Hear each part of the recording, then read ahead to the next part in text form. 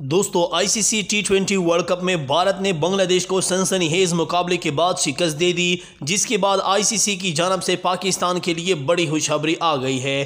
पाकिस्तान के लिए अब भी पाँच मौाक़े हैं कि वह सेमीफाइनल के लिए क्वालिफाई कर जाए। दोस्तों, किस सूरत में पाकिस्तान अब सेमीफाइनल के लिए क्वालिफाई करेगा? ICC T twenty world cup की लेटेस्ट पॉइंट्स टेबल भी शेयर हो चुकी है। दोस्तों, वो भी आपके साथ शेयर करने वाले हैं। लेकिन अगर आपने अभी तक हमारा यूट्यूब चैनल सब्सक्राइब नहीं किया है तो हमारा यूट्यूब चैनल सब्सक्राइब कीजिए और इस वीडियो को लाइक कीजिए। दोस्तों, भारत ने बांग्लादेश को सनसनीहेज मुकाबले के बाद शिकस्त दे दी, जिसके बाद पाकिस्तान के लिए सेमीफाइनल के रास्ते खुल गए।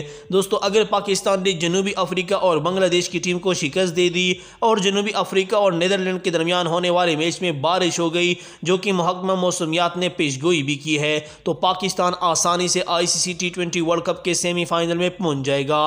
भारत की टीम भी बाहर हो सकती है अगर जम्बाब उनको हरा या फिर बारिश की वजह से मैच मनसूख हो जाए तो इन चार सूरतों में Pakistani team I C C world cup के सेमीफाइनल में पहुँच जाएगी।